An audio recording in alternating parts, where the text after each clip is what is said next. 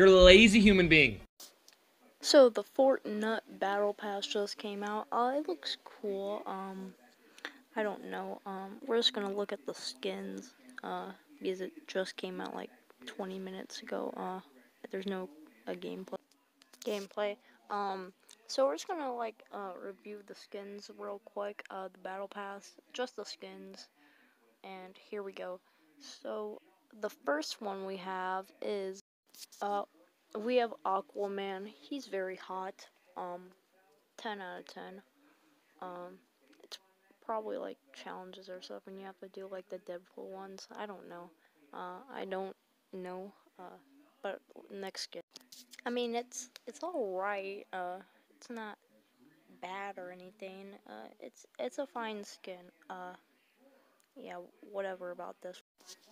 Okay, this one this one reminds me of like a of Drift, but but he's purple.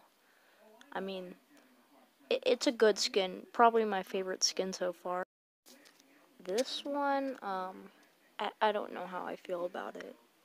Kind of reminds me of like a Call of Duty skin. I don't know. It, it just reminds me of stuff. Call of Duty, whatever. Okay, next skin, next skin. This one just reminds me of the Season 9 jo Jonesy skin female version of the tier 100 skin in Season X. Please remind me of that, that season, please. What a, what even is this skin? Okay, this one bad though. Next one, we're gonna go through the new edit style. Okay, I like this new edit style. It looks pretty good. This one I like very much. Uh, it should have been an edit style for season 2 though. Now I have this skin, so I'm gonna wear this like a lot. So, very epic skin. I like it. 10 out of 10. Would wear it.